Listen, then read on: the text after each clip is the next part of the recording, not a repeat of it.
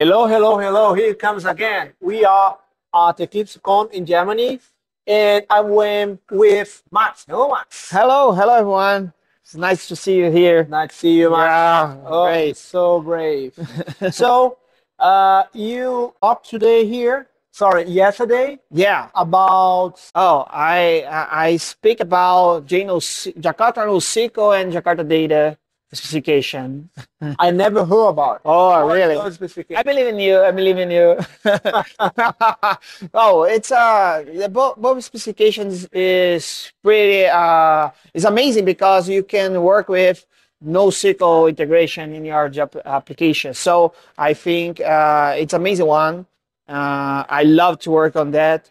Uh, and and uh, yesterday I did a talk showing the features, showing how to configure, how to create an entity, just using the specification, uh, everything held by JNoSQL implementation. That is a reference implementation about that. Oh, nice. But what's the main difference between those specifications? I mean, what's the main difference between Jakarta NoSQL and Jakarta Data? Okay, JNoSQL, uh, Jakarta NoSQL is focused on to uh, uh, make able the developers to work with uh, NoSQL database. So you annotate your module, de- define what is the the ID uh, ID field, what fields needs to be stored. You just annotate. It's pretty similar to Jakarta persistence, and uh, it will be uh, automatically based on the implementation. You will store it in a specific uh, database, NoSQL. It's amazing one. Oh, And, Hi. and uh, Jakarta data is focused on, on a way to, to, to store data, but uh, Jakarta data uh, intends to bring you a specific uh, pattern. It's focused on uh, repository pattern from DDD and from Eric Evans. So actually, you are trying to to bring uh, your code nearest to the business instead of to just focus on a database syntax, for example, insert, update, and so on, because it's very far away from the business.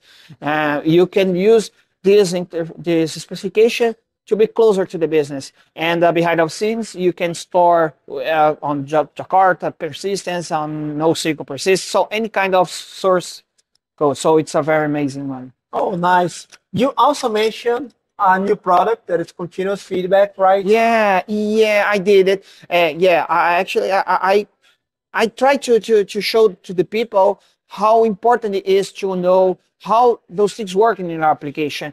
Continuous feedback is a, is a specific uh, way to to to get feedback from your application. Uh, Digma is a specific platform that you can use in your IDE. You just install it, and uh, it will get information from your application in development time. So when you are working in our machine, you can test, run the test, and so on. You're learning how to this thing works.